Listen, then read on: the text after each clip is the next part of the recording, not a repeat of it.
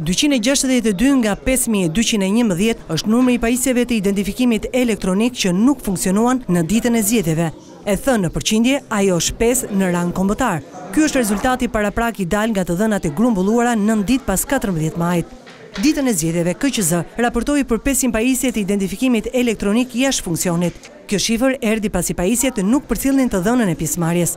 Me dorëzimin e raporteve nga operatorët rezulton se pavarësisht se disa pajisje nuk përçuan pjesëmarrjen e qytetarëve në zgjedhje për shkak të valëve të dobëta të internetit, identifikimi i zgjedhësve është bërë elektronik. Na rezulton që një pajisje në një qendër votimi nuk ka transmetuar, ndërkohë nga komunikimi që kemi pasur me operatorin në atë qendër votimi konfirmon që pajisja ka filluar, pra identifikimi ka filluar dhe ka përfunduar në në mënyrë elektronike. Te dyqind e gjashtëdhjetë e dy pajisjet që nuk funksionuan përfshihen edhe gjashtëdhjetë e një të cilat as u ndezën fare pasi nuk u gjetën operatorë, kryesisht në zona të thella të vendit.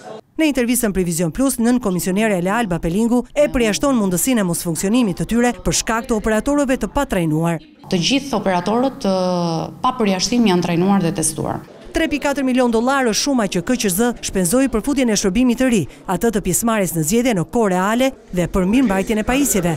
Për këtë arsye, në grupin e ekspertëve që do të bëjnë hetimin do të jetë edhe Smartmatic, kompania përgjegjëse. Për sa i takon ndryshimit të softit, ka qenë patjetër kompania që e ka realizuar, ndërsa për sa i takon funksionalitetit të transmetimit, kemi pasur marrëdhënien kontraktore me kompaninë mobile që ka kryer këtë shërbim. Rezultati i ekspertizës do të përcaktojë nëse kemi të bëjmë me një problem teknik apo njerëzor. Cilido të jetë ai, pesë për qind i mosfunksionimit të teknologjisë në rang vendi është një shifër e ulët, duke marrë në konsideratë edhe të dhënën se një pikë tre për qind e saj erdhi për mungesë të gjetjes së të rinjve për të përdorur këtë pajisje.